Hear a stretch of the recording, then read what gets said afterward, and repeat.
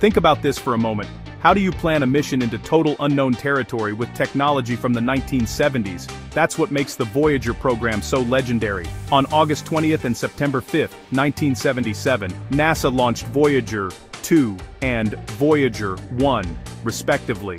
Their primary goal was an ambitious grand tour of the outer planets Jupiter, Saturn, Uranus and Neptune. This relied on a rare planetary alignment that only happens once every 175 years, allowing the spacecraft to use the gravity of each planet to slingshot to the next. The late great Dr. Edward Stone, who served as the Voyager project scientist for an incredible 50 years, was the guiding force behind the mission's scientific objectives. He and his team knew this was a once-in-a-lifetime opportunity to explore worlds we had only seen through telescopes.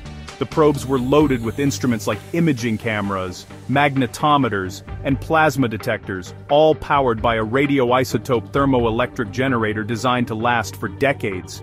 This wasn't just about collecting data, it was about sending robotic emissaries into the void, pushing the boundaries of what was possible, and seeing what was out there for the very first time.